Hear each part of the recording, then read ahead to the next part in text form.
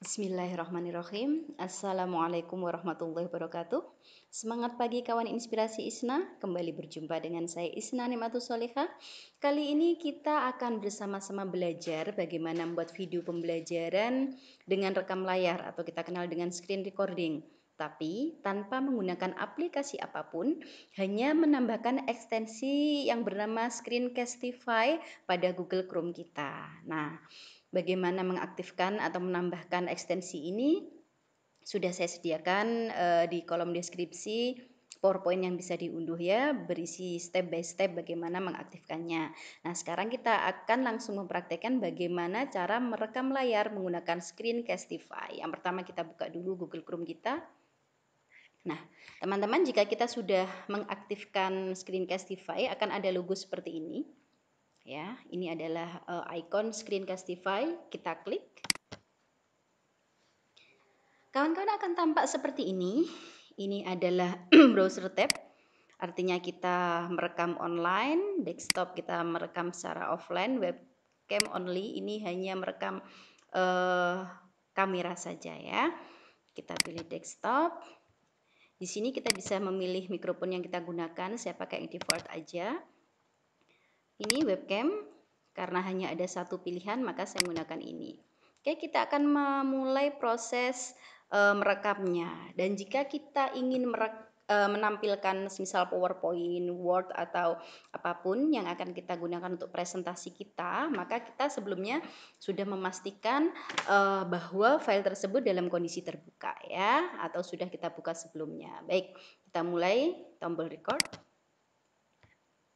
Nah, akan muncul seperti ini ya kawan-kawan. Ini adalah wajah saya dan jika kawan-kawan mempraktikkan maka akan muncul wajah kawan-kawan.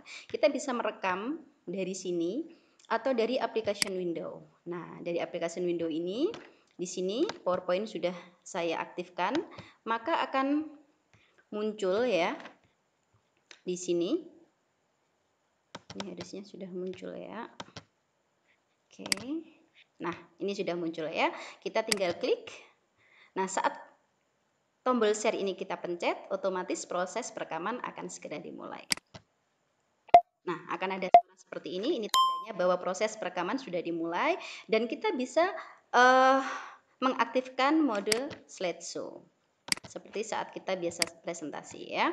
Nah, saat mode slideshow ini kita tampilkan, kita bisa menggunakan bawaan dari PowerPoint ya. Nah, di sini ada pen, yang bisa kita gunakan untuk uh, menulis, mencoret-coret, memberi garis dan lain-lain atau highlighter untuk apa ya istilahnya stabilo. Ya kita coba aja. Semisal kita coba dulu yang pen ya. Kita coba. Assalamualaikum warahmatullahi wabarakatuh. Selamat pagi anak-anakku sekalian. Senang sekali kita bisa berjumpa kembali pada sesi BK selama satu jam ke depan.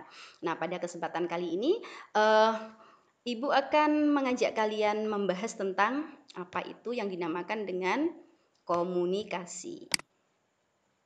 Ya. Oke. Komunikasi.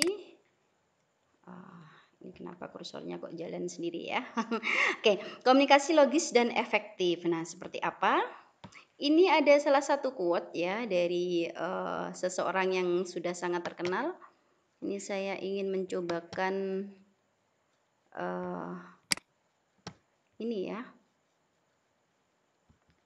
Uh, sebentar sebentar. Oke ini saya mencobakan pennya. Ya kita garis di sini.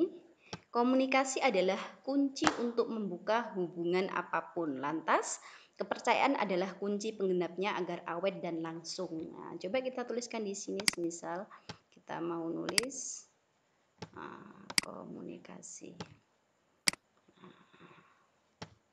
misal kita mau seperti ini bisa menggunakan mouse atau uh, kalau kita punya kita bisa beli yang namanya pen tab ya atau pen digital. Nah ini kita bisa uh, menuliskan seperti ini atau kita juga bisa memberikan tanda pada bagian yang penting ya semisal kata kepercayaan. Kita stabilo nah seperti ini. Nah jadi kita bisa uh, memberikan tambahan penjelasan atau penekanan saat ada sesuatu yang penting ya. Apa yang akan kita bahas? Definisi komunikasi misalnya, ya. Oke, nah di sini komunikasi adalah suatu proses penyampaian pikiran dan perasaan melalui bahasa, baik verbal maupun nonverbal, mendengar, berbicara, gerak tubuh dan ungkapan emosi. Nah, jadi sebenarnya saat kita melakukan komunikasi dengan seseorang, entah langsung atau tidak langsung, sebenarnya kita sedang menyampaikan apa yang ada di diri kita, yaitu pikiran dan perasaan. Nah, setelah ini kita akan membahas siapa saja yang terlibat dalam komunikasi, unsur komunikasi itu seperti apa dan apa saja yang menjadi gangguan atau hambatan saat kita komunikasi. Oke, Bapak Ibu, uh, kawan-kawan semua, sepertinya untuk simulasi kita cukup ya. Untuk menghentikan rekaman kita bisa stop sharing. Nah, akan muncul seperti ini. Jika kita ingin mendengarkan uh, hasil dari rekaman kita, bisa kita dengarkan di sini. Nah, saat mode slideshow ini kita tampilkan, kita bisa menggunakan bawaan dari PowerPoint ya. Nah, di sini ada pen yang bisa kita gunakan untuk uh, menulis, mencoret-coret, memberi garis dan lain-lain atau highlighter untuk apa ya istilahnya stabilo ya. Kita coba aja. Semisal kita coba dulu yang pen ya. Kita coba. Assalamualaikum warahmatullahi wabarakatuh. Selamat pagi anak-anakku sekalian. Senang sekali kita bisa berjumpa kembali pada sesi BK selama satu jam ke depan. Nah, pada kesempatan kali ini, uh, Ibu akan mengajak kalian membahas tentang apa itu yang dinamakan dengan komunikasi. Ya. Oke, komunikasi. Uh, kenapa kursornya kok jalan sendiri ya? Oke, komunikasi logis dan efektif. Nah, seperti apa? Ini ada salah satu quote ya dari uh, seseorang yang sudah sangat terkenal. Ini saya ingin mencobakan uh, ini ya. Uh, sebentar, sebentar. Oke, ini saya ingin mencobakan pennya. Ya, kita garis di sini. Komunikasi adalah kunci untuk membuka hubungan apa pun. Lantas, kepercayaan adalah kunci penggenapnya agar awet dan langsung. Nah, coba kita tuliskan di sini, semisal kita mau nulis nah, komunikasi. Nah, semisal kita mau menulis seperti ini, bisa menggunakan mouse atau uh, kalau kita punya, kita bisa beli yang namanya pen tab ya atau pen digital. Nah, ini kita bisa uh, menuliskan seperti ini atau kita juga bisa memberikan tanda pada bagian yang penting ya, misal kata kepercayaan. Kita stabilo. Nah, seperti ini. Nah, jadi kita bisa uh, memberikan tambahan penjelasan atau penekanan saat ada sesuatu yang penting ya. Apa yang akan kita bahas? Definisi komunikasi misalnya ya. Oke, nah di sini komunikasi adalah suatu proses penyampaian pikiran dan perasaan melalui bahasa, baik verbal maupun nonverbal, mendengar. Ber... Oke, Bapak Ibu, uh, seperti ini tadi ya hasil saat kita playback. Uh, mohon maaf, mungkin uh, tidak terlalu lancar karena posisi uh, di daerah saya sinyal kurang bagus ya, apalagi kalau malam kayak gini. Oke, dan video ini juga bisa kita edit di sini, open in editor. Nah, uh, kelebihan dari Screencastify ini adalah video ini akan otomatis langsung terdownload di Google Drive. Ya, Bapak Ibu, ini kita lihat ada prosesnya. Kemudian kita bisa langsung membagi link link dari video ini lewat copy share shareable link lewat sini copy.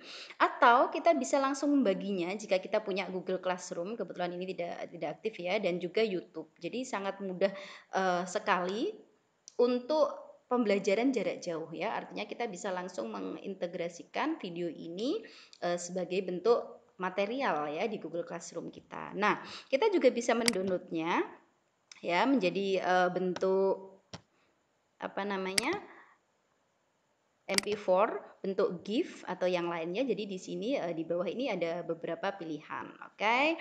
uh, demikian Bapak Ibu uh, tutorial kita untuk kesempatan kali ini.